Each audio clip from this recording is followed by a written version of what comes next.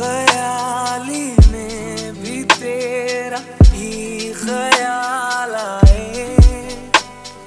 क्यों बिछड़ना है ज़रूरी ये सवाल आए? तेरी नजदीकियों की खुशी बेहिसाब थी, इससे में फासले